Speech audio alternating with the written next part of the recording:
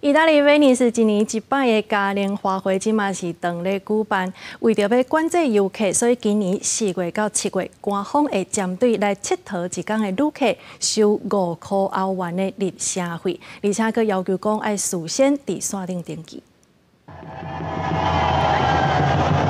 今年威尼斯嘉年华是以热的红尾船水上游行来开始，尤其是以整个正水的造型和面往现身，增加罗曼蒂克的气氛。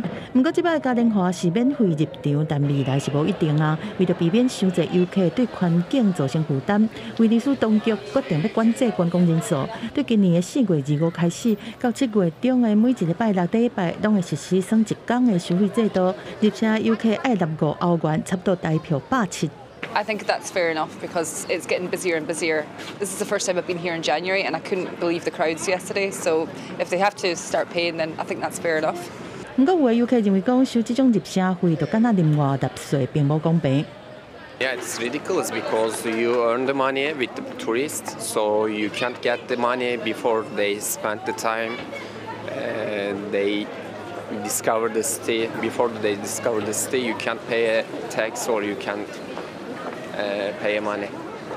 That's not logical.